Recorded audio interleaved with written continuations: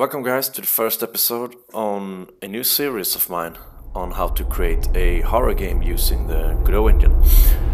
So, what you see in the background is the game that we will be creating, and it's a 3D first person shooter game where you start off in a maze. Uh, and in the maze, you're constantly being chased by this thing, and the only way to win the game is to avoid it and collect all the five orbs scattered around the maze. So let's give you guys a quick playthrough of the game to give you guys a grasp on what we will be creating.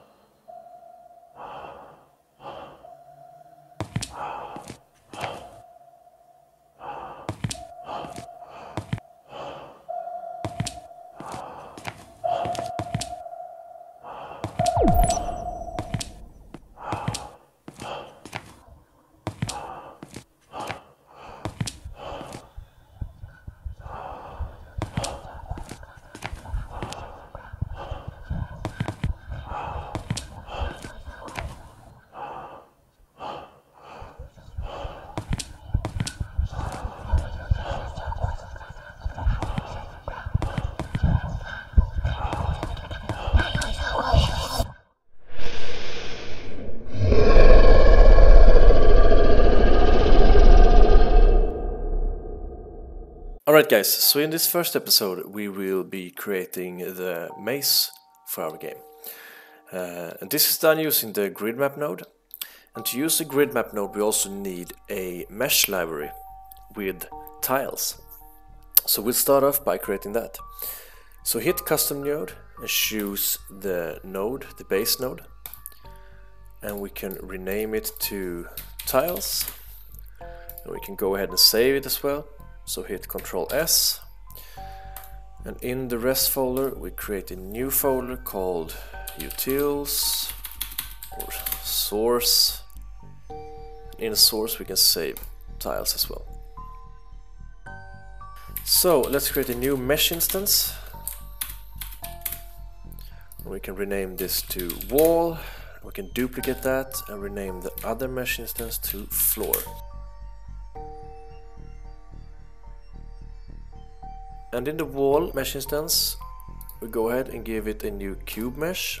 We adjust the height of the wall to around 6. We also give it a spatial material and we adjust albedo color to let's say a brownish dark color. And we also need to give the floor a mesh instance. We give it a cube mesh pass it a spatial materials as well and we change the albedo to a lighter grayish color.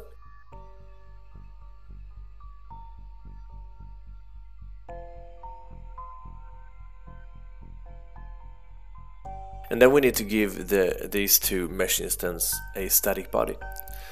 Uh, so this is done by pressing the instance and hit this button here, mesh, create convex static body and we need to do the same for the floor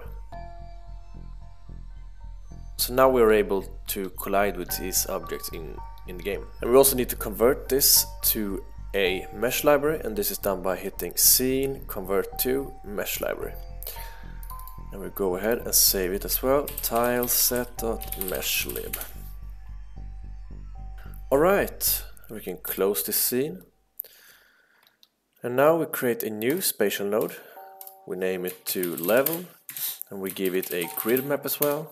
And we pass the newly created mesh library to the grid map.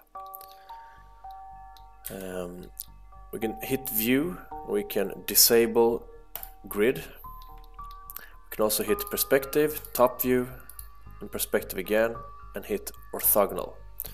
Now we can just go ahead and paint the maze with the walls first of all You can also hit shift and right click to remove. Let's just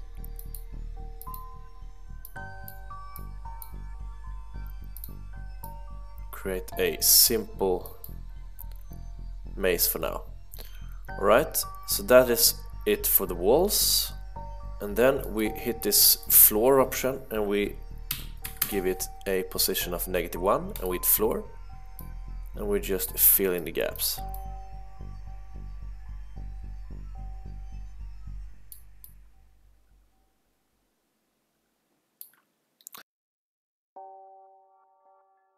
And now if we change back to perspective, you can see we have this nice looking maze.